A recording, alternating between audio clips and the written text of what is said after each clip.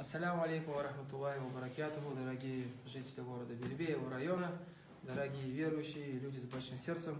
Альхамдулилля, Роббиль Алямин, вся хвала принадлежит Аллаху Господу миров. И сегодня мы обратились к нашим верующим единоверцам с просьбой о том, чтобы они нам помогли заплатить э, за аренду мечети. Альхамдулилля, один, одна благородная семья отозвалась, они эти деньги копили на хадж, и как только услышали то, что наша мечеть может закрыться из-за нехватки средств, передали мне вот эту вот копилку. Субханаллах. Субхану ва воздаст им благами. Пусть Аллах Субхану ва отправит их 10 раз в хадж за столь щедрое, щедрое подаяние.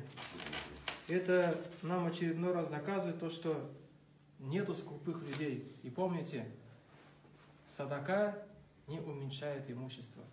Будем брать пример с этих достойных людей и будем равняться им.